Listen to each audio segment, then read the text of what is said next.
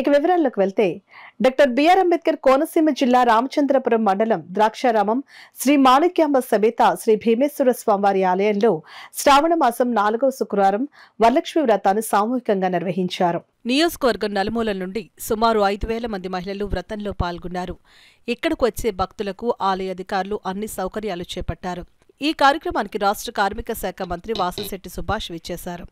అనంతరం మంత్రి సుభాష్ మాట్లాడుతూ సుమారు ఐదు వేల మంది వచ్చి భక్తి శ్రద్ధలతో వ్రతం ఆచరించారని అన్నారు.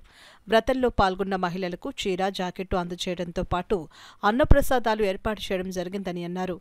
పరమశివుడే వ్రతం ఆచరించమని చెప్పినట్లు పురాణాలు తెలుపుతున్నాయని అన్నారు.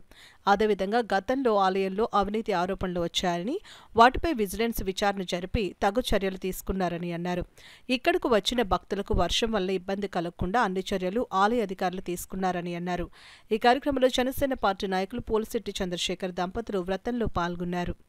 శుక్రవారాల నుండి వచ్చే వరలక్ష్మి రథాన్ని అదీగాక కాక ఈ పూర్ణిమ ముందు వచ్చే ఈ శుక్రవారం రోజున భక్తి శ్రద్ధలతో మహిళలందరూ కూడా సౌభాగ్యం ఉండాలని ఈ పూజలు నిర్వహిస్తూ ఉంటారు. అలాగే పరమశివుడు కూడా ఈ పూజ ఆచరించాలని చెప్పేసి చెప్పడం మన పురాణాల్లో కూడా ఉంది.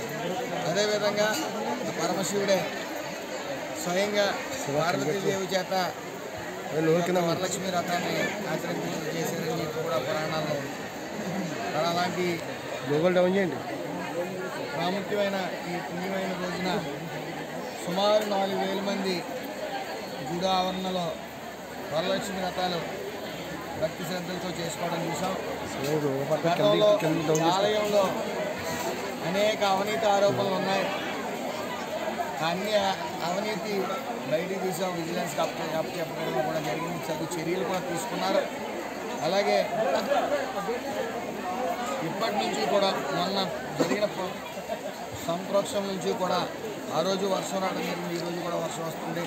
వరుణదేవులే సంప్రోక్షణ చేసినట్టు భావించవచ్చు.